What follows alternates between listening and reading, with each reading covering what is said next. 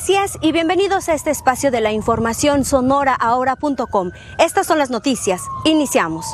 La noticia que le ha dado la vuelta al mundo, Osama Bin Laden ha muerto, pero antes de resultar abatido, se enfrentó a disparos con el Comando Especial de la Armada estadounidense que irrumpió en su complejo, una mansión cercana a la capital pakistaní, reveló un funcionario norteamericano, quien agregó que el comando utilizó el nombre del famoso jefe apache Jerónimo para referirse en clave a la captura o muerte de Bin Laden, este lunes, el presidente Barack Obama aseguró que el mundo es ahora más seguro y un lugar mejor debido a la muerte del líder de la organización terrorista Al Qaeda y aseguró que Estados Unidos se mantuvo fiel a su compromiso de que sería justicia por los atentados del 11 de septiembre. Entre los datos que han circulado en medios de comunicación del mundo, destaca que Estados Unidos utilizó múltiples medios para confirmar la identidad de Osama Bin Laden antes de arrojar su cuerpo en el norte del mar Arábigo desde un portaaviones identificado visualmente por los miembros de la Brigada de Asalto de Estados Unidos y se analizó también material no especificado durante la redada por la CIA.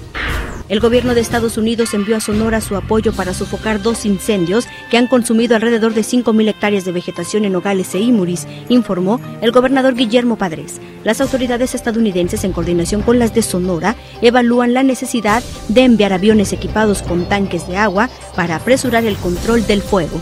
Las comisiones de orden de Consejo Nacional del PAN y de Sonora determinaron en definitiva la expulsión del ex líder nacional del Blanquiazul Manuel Espino de las filas de este instituto político. En un comunicado, Acción Nacional informó que los agravios que esgrimió Manuel Espino para impugnar su expulsión fueron desechados y determinados como infundados e inoperantes.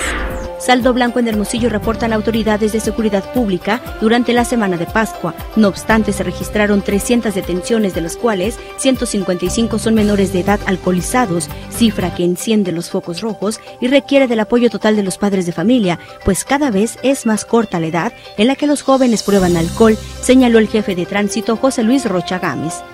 entregan al Congreso del Estado una propuesta de mejoramiento al transporte público de Hermosillo a través de la nueva empresa Hermobús, el cual busca mejorar el servicio con nuevas y modernas unidades, respetando rutas y precios establecidos. El documento escrito lo entregó Beatriz Paredones y un grupo de concesionarios a la presidenta de la Comisión del Transporte, Eloísa Flores.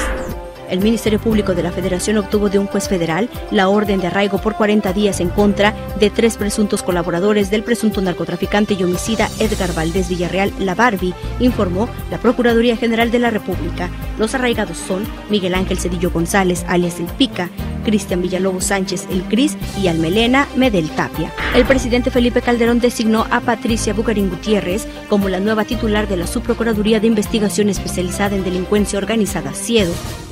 en sustitución de Marisela Morales, ahora Procuradora General de la República. El mandatario expuso que los nuevos nombramientos son para impulsar las políticas de coordinación interinstitucional y la profesionalización integral del personal de la PGR en el marco de la Estrategia Nacional del Gobierno Federal en materia de seguridad pública. Por su atención, muchas gracias y recuerde que somos la referencia en noticias.